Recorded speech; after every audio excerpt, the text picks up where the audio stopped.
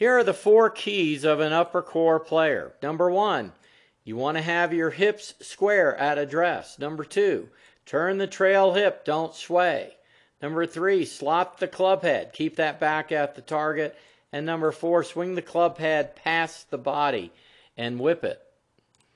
So the first kryptonite is the upper core player doesn't set up with their hips square like I have here. They're going to set up with their hips back and open. And this is going to promote moving off the ball too much and the hips not rotating enough. With a good setup and the hips square, the right hip can turn or trail hip, and now I'm not going to move off the ball too much. With the hips open, the club goes back too much to the outside instead of more to the inside. And then when I get to the top of my swing, my hips are not rotated as much and the club is not as deep. With square hips, I will get my left arm on plane. With the hips open, I can get the left arm to vertical. The problem with that is now with the hips open and not the correct backswing and turn, now I get the club over the top of the plane instead of having the club on plane. That's what we call slotting it. And then from there, the club continues to come down, and now I'm still on plane with the good backswing, but with the hips open at address, now I'm too steep and I'm in trouble. So once we slot that club head, it's important to feel like I keep my back facing the target. I want to that's the feel, that's not what really is going to happen.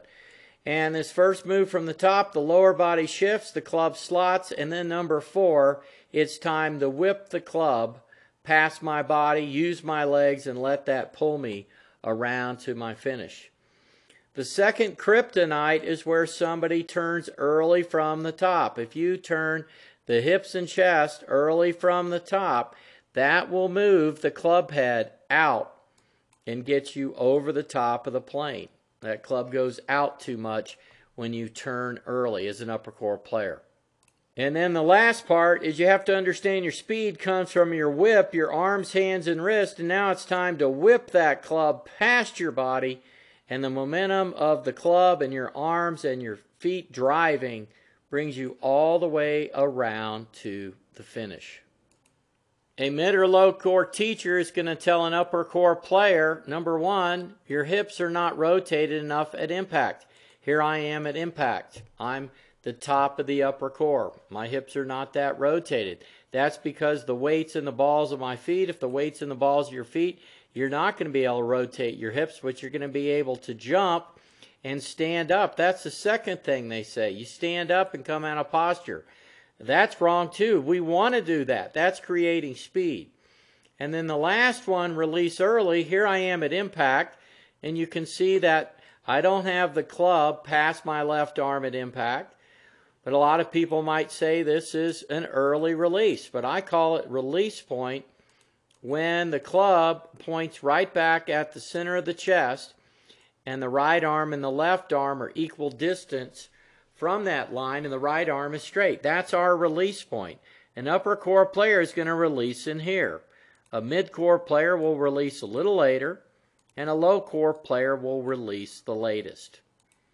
Many students that come to see me that are upper core, they've been told to turn and lag the club. That's a low core model, not upper core.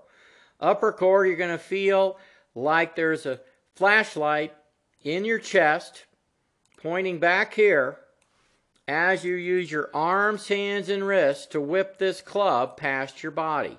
That's your feel. You're going to feel whipping this club past your body. That's where your speed comes from. It's not going to come from rotating your body. So if you think you're an upper core player, make sure you get your hips square at address because then you can turn your trail hip without swaying. And then number four, swing the club head past the body and whip it.